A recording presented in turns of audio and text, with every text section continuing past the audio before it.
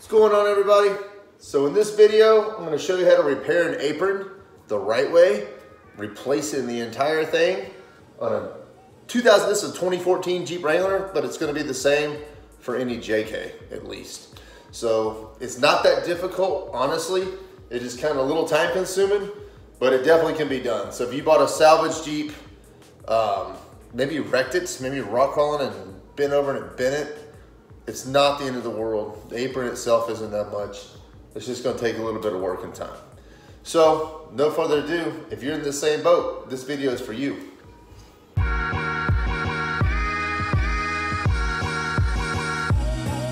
Is the apron on the driver's side.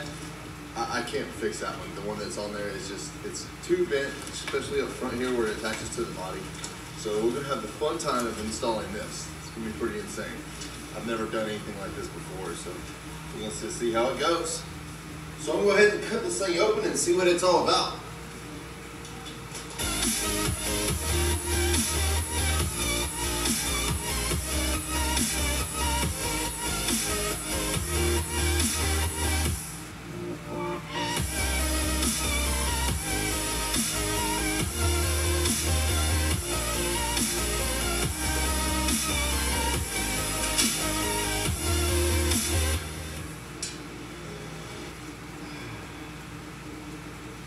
It looks like the right part.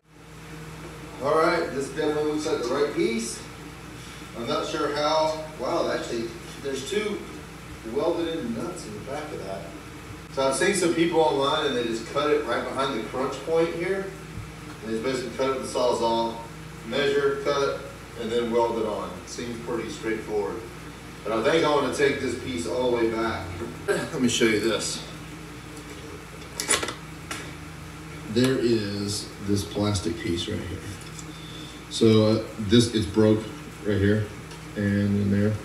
So I just ordered this from the dealer this morning, 150 bucks for this piece of plastic.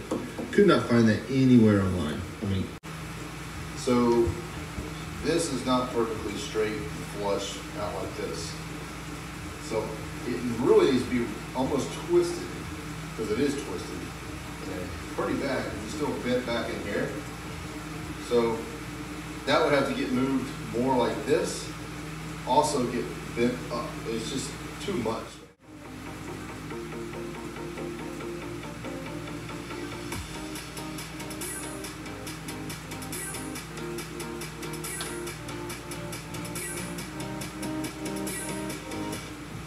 There it is. It's missing the apron. So let's get busy on removing 47 spot welds. or what it looks like. Here we go.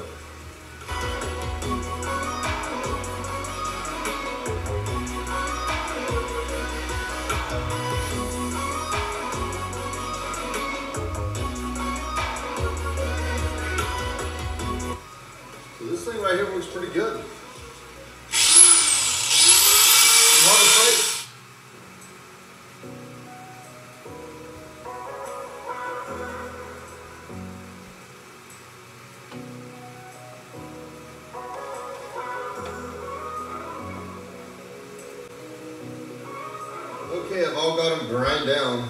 Now I just need to get this thing off there somehow. Just come with a screwdriver in and a hammer and see what happens.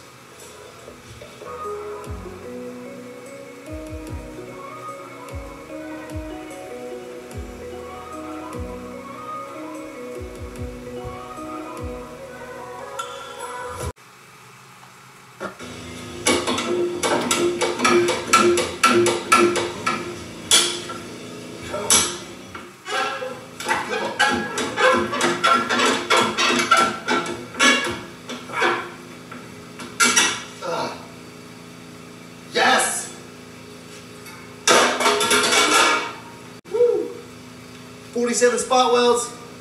That's off. Here's the aprons. And two spot welds in that hole. Four in this one. I'm not sure there because I gotta get dig this stuff out. Probably two, and there's one in this one. And there's outside, one on the outside, one on the outside, and the opposite on the back side. And there's gonna be a bolt, so I'm gonna have to take off the inside the Jeep. There's two nuts that are welded on, as you can see right here. So I'm assuming there's a bolts on the back side that hold that in from the inside of the out. There's enough room in here. Ha! It slides out. Woo! That is amazing.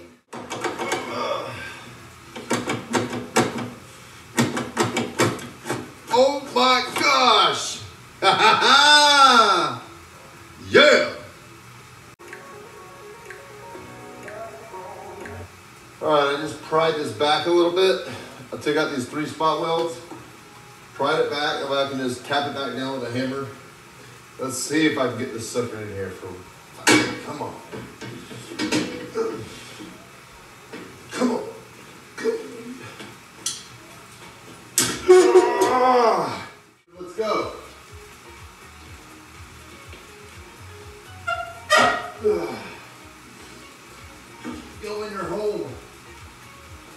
Not gonna hit this thing with a hammer.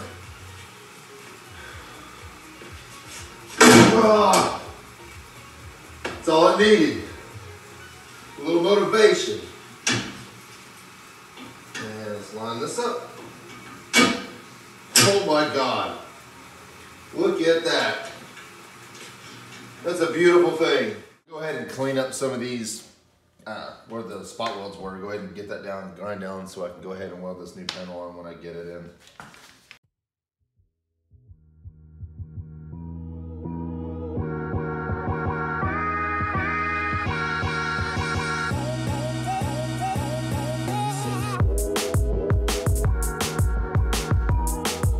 Take the apron back off because I gotta, I forgot, I gotta clean up all this crappy surface rust and junk in here. So I'm gonna clean up all these spot welds, then I can move this back on, all right?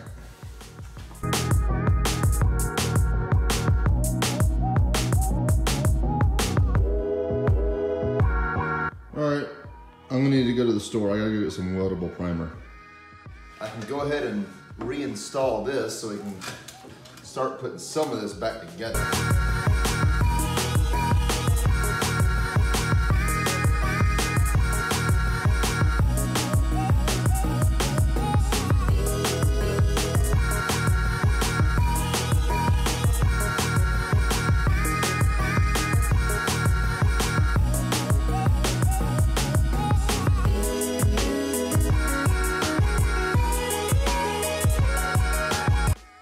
Sprayed a little bit of etching primer behind where the apron's gonna go. Let's go ahead and put this apron back on.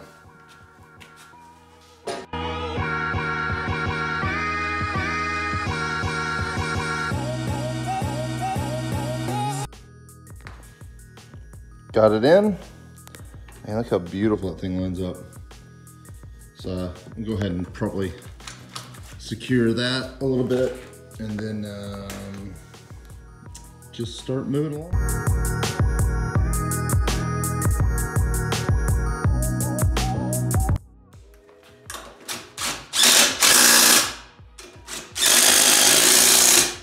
Back on and installed and everything. Oh, except for these two, these two little guys. And I'm I'm not gonna be painting this anyway. I don't want to paint the apron. Let's see. And there we go. I don't want to paint it. I mean, you really, you can tell it doesn't need to be painted anyhow. I mean, look at this side.